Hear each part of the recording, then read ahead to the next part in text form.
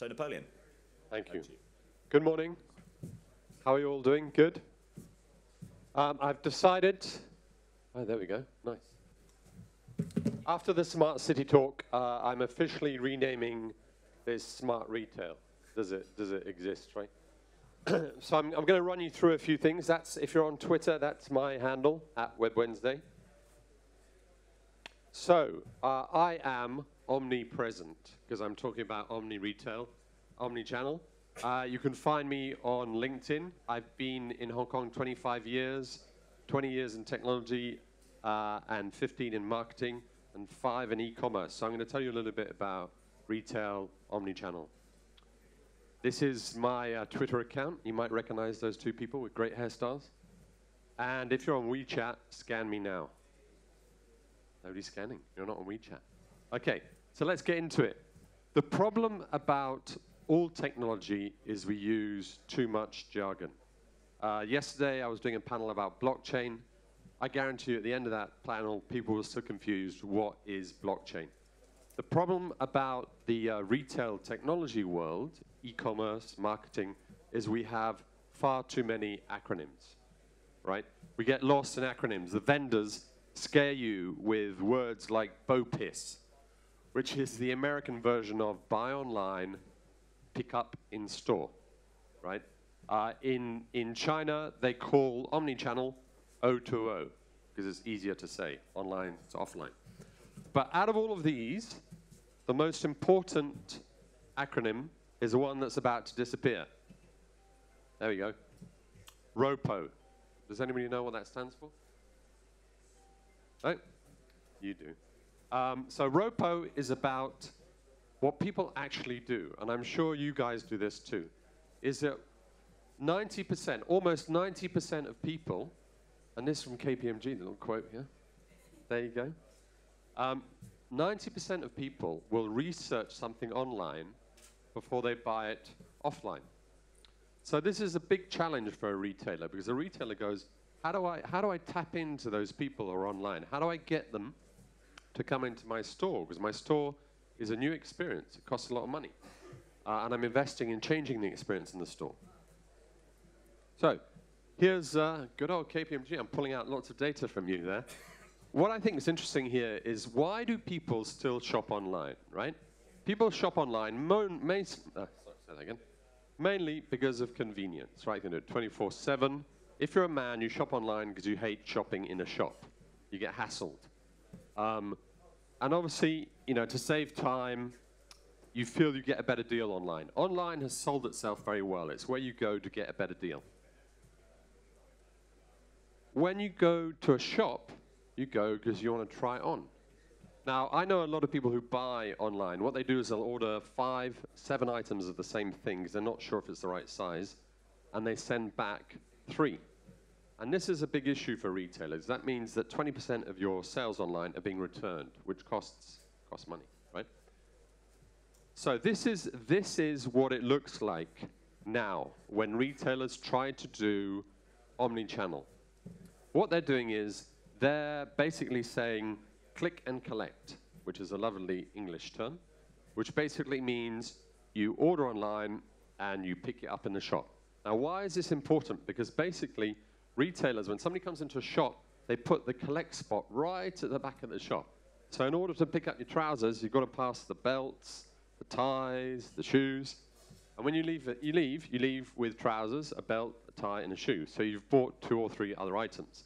So a very clever way to get you to come into the shop. You've done the convenience of online, and you pick it up in the shop. Right?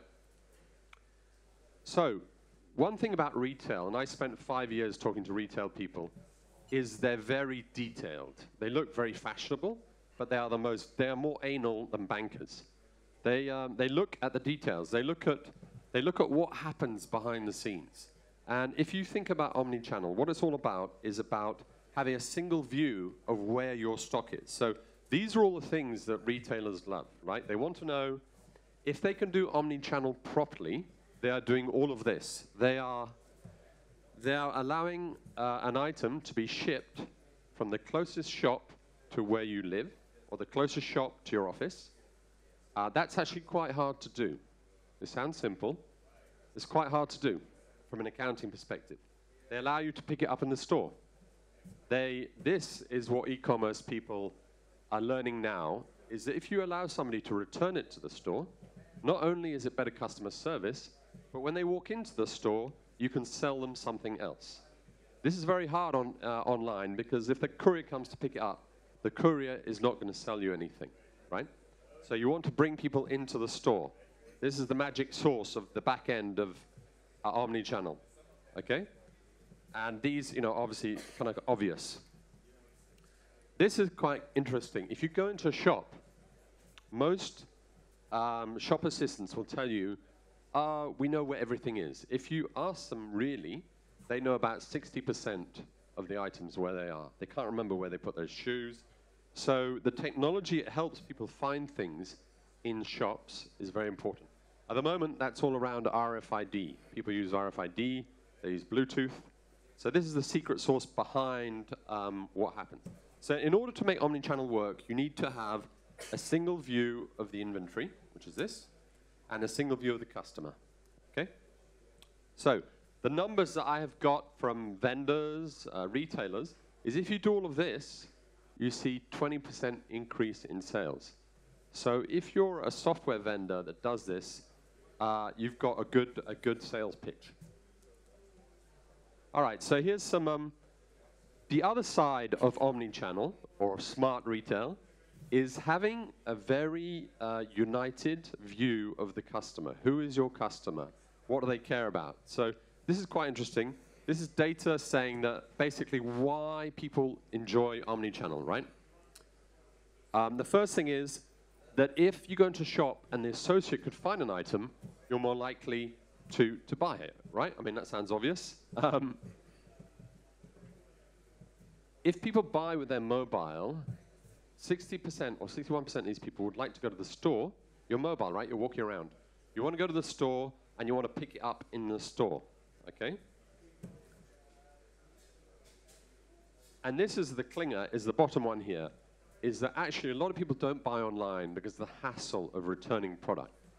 As soon as retailers say you can return the product anywhere to any of our stores, their sales go up dramatically online, okay?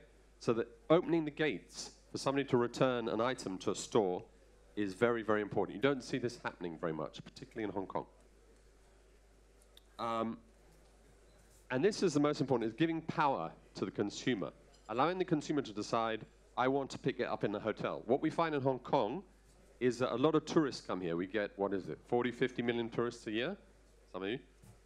And if you order an item and it got delivered to your hotel, the, you'd really be happy to do that and pick it up, especially if it's a cheaper item here than it is in the aeroplane or duty free, right? Um, not so important, jump. So, this man, you might know, Jack Ma, he basically, China is kicking ass in the omni-channel space. And this is because China, the internet companies own all of the point, touch points. And now they are buying retail. Jack Ma has bought into Intime retail. He's bought into Hema. So what he does is he calls it new retail. His phrase is new retail. Okay? What he believes is uh, it's all about personalization. It's all about using data. We had AI earlier today. It's all about using data to pick up all the different experiences people have and serve them product. It's all about convenience. What he does with Hema is you walk into Hema, you can see the product, you can have, take a bite of an apple. If you like 12 apples, you can have them delivered to your house or your office within half an hour. So he's making it very convenient. And China is not famous for customer service. If you've bought stuff in China, the experience has not been particularly sweet until recently. And then there is the retailer side. Now, this is the part where omni-channel does not work retailers have a challenge. The challenge with retail is if you're a Jack Ma, you own it all. You can just, you know, release some more shares and buy something. If you're a small retailer in Hong Kong, you can't afford to do all of this technology at the same time. And the vendors of technology only sell you pieces. They don't sell you the whole solution. Uh, with Jack Ma, as you can see, he owns everything. He owns the front, the entertainment, right through to the data and the cloud computing. But not everybody is Alibaba. Right? So let me give you some examples of how it works in Hong Kong. All right? Um, this gentleman, Ricky Wong, uh, set up a company called HKTV because he wanted to start a new television station, but they wouldn't give him the license. So he goes, I'm an entrepreneur, I'll set up a shopping mall. Uh, I saw him talk the other day. What's great about him, he's a true Hong Konger, no crap, and he tells you how it is. So his first thing is, I'm losing money. How many startups, honest, over there, will say to you, I'm losing money, right?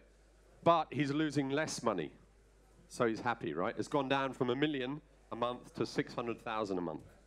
Why can he afford to do that? Because he is publicly listed. And I have learned in Hong Kong that if you're publicly listed, automatically your company is worth 40 million Hong Kong dollars, whether you make money or not. So he can afford to lose some money. He has 180 trucks that go all over Hong Kong. So part of the omni-channel promise is that delivery within 15 minutes, half an hour, same day. In Hong Kong, most uh, retailers deliver two days, three days. You know, they're not that fast. And this is a small place. He knows that the experience at Wellcome or PARKnSHOP is so bad that once they've bought from him three times, they won't go back to Wellcome or PARKnSHOP, right? And what's really interesting is that as soon he's, he's a traditional internet guy, but he saw let's open some shops. As soon as he did that, the whole smart retail thing kicked in. And he says that what people do is when they go into stores, they spend four times as much. That makes sense, right? It's food. You're going to buy cereal, you see some nice carrots. Oh, you think those carrots would be good with a bit of cream. So he, he sees the sales uptick there. And uh, Hong Kong is a very concentrated place. So he chose a place called South Horizons, and he put a shop in there. What was amazing, as soon as he did that, the sales, what's that? Quintupled, quadrupled, septupled. Um, but what I like about this guy is he knows his audience, right? Millennials. He says what you need to do to get people to buy online is free shipping and free returns. What happens in the UK is if you pick up in a shop, they don't charge you anything. If they ship it to you, they charge you an extra five pounds. So what he's saying, to make omnichannel work, you need to do free shipping and free returns. Don't charge the customer because you can make money from them coming into your shop. And only show them what you have available. It's amazing how many retailers you go through the whole checkout process and then you get this big red thing that says out of stock, right? It's a, it's a horrible experience and it doesn't make you want to shop online. So let me give you uh, a couple more examples. This is um, Burt's Bees, okay? This is what happens in Hong Kong is retailers can't afford to do all the technology, so they do bits of it. Uh, Burt's Bees, you know, sells uh, lip salve. They have shops, little shops all over Hong Kong. Uh, this is an example of the weather gets cold in Hong Kong. At the moment, it's too bloody hot, but it gets cold. In November, about a year ago, they had built up a community on Facebook. They knew their customers. They had about 20,000 followers, I think. And as soon as the weather went cold, they didn't use AI, they used a human. They put out a promotion saying, uh, order your lip salve online, come and pick it up in the store. And then people came to their store. Now, what was unique about this, it sounds like a marketing gimmick, but what was unique about this is this is not a coupon.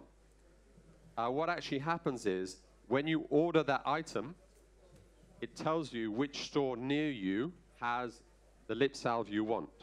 So when you arrive at the store, they know you're coming, they have the lip salve you want, and they know your name. So it's very personalized. You arrive, you get your free lip salve, and of course, they sell you some baby cream, or they sell you some, some other cream. So they, they did very well out of this. Now, in order for that to happen, you can see here, within 45 minutes, they sold 1,000 samples. I didn't really sell them. But what's interesting is they used the online to drive people into the store. Once people, they knew they were coming, so they could manage the inventory in the store. What happens often with promotions is that you arrive at the store and they've run out of that freebie. The sales staff don't know what to do. They take your email address. You never hear from them. So by having uh, your retail connected up, you're able to deliver the product to the person in the store. Okay?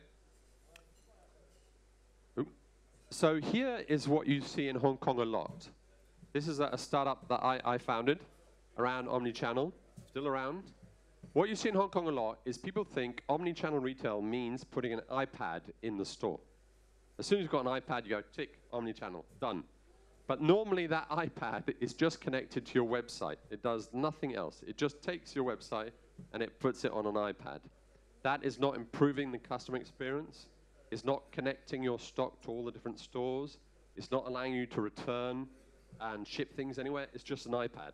In this case, it's slightly different. In this case, uh, UGG Australia, the shoe brand, what they did was they basically made the experience like this, which means that um, the amount of shoes in the store normally limited, right? What they were able to do was connect all of their stock all over Hong Kong and make it available in any store. So in effect, the girl coming in, if she doesn't see it on the shelf and it's not in the warehouse behind them, she could order a shoe from any of the shops and be delivered to her, to her hotel, to her office. So you're extending the whole experience. This is, this is the thing that retailers love, especially in Hong Kong where retail is too expensive, is if you can squeeze very few products into a store, but the consumer can order from your whole inventory and have it delivered anywhere. In this case, these guys even put just one shoe, right? You're not getting both shoes. it gets delivered to you, you know, very quickly. So this is an extension. This is a, a very good example of the endless aisle experience, moving away from the typical Hong Kong case of just an iPad with a website. I'm now going to show you a little video this is another startup that involved an Actimirror. They have a very good technology. When a guy walks in, what he's doing is he sees some items, he takes it up to a mirror. The mirror recognizes the item, it recognizes him, uh, and it proposes to him, it puts a picture on the screen of a Caucasian man, because he is a Caucasian man about the same age, and it starts making suggestions of other items he can buy. Right? And all she's doing as a salesperson is helping him go through it, telling him what items he can buy, making recommendations. He uh, orders that item. In this case, he takes it with him. But in other cases, he, he scans this, he takes it home on his, uh, on his phone, because men don't like to buy by themselves. Normally, men need to show that to their girlfriend, their wife, their boyfriend, whatever the situation is, and he finishes the purchase at home. Okay? So this was an experience where the guy is in the store, he gets recognized, he gets advice, but he doesn't finish the purchase there. He actually goes home or to his office and he has all the data on his phone. All right? So this is a kind of one piece of the omni-channel. Like I said, in, in Hong Kong, the problem is that nobody is doing it all, right? You have people who do the delivery, you have people who do this kind of in-store experience, but you don't have the whole thing. Oh, we're running out of time. So, my last slide just before I get to my last slide. So the secret sauce to omni-channel retail is three things. Uh, and if a startup or an investor can crack these, they're going to make lots of money. The first thing is a single view of the customer. You need to know your customer, where they are, uh, what they like, where they like to pick things up. You need to have a single view of your inventory. Now, I've invested in a few companies, and usually they have one unit that makes them different from anybody else in the retail business it's inventory or SKUs. So if you have a single view of the customer and a single view of your inventory, and you offer multiple points of fulfillment, you are doing omni-channel. In Hong Kong, most people don't do all three. But let's move on to the future. My last slide, and then I can finish. This is the future in America. It's the big version. Amazon is doing this because you can order with your voice. Isn't that great? I want a new jacket, a blue one, please. They should know the size, they know where to deliver it. And what Amazon does is that they build up a whole ecosystem of apps that connect into uh, Alexa. Now, Amazon used to be ahead of the game. Uh, now you've got Google who've come up. Forget about this. this is just ordering shavers. You've got Google who are doing it. I have one of these at home. The uh, Google. It's quite funny. Occasionally it'll turn on by itself, which is a bit scary. And in China, Baidu. Baidu has launched their own version. I think they have 25 million users. Everything in China is massive. 25 million users, and they have about 15,000 different apps that are connected. So the idea is you will be able to order anything from your home and have it delivered to you, right? Baidu can probably do this in collaboration with Alibaba. So this is the future of omnichannel, smart retail. And just to remind you, here I am. So take a photo. Come and talk to me. All right? Any questions? All right, cool.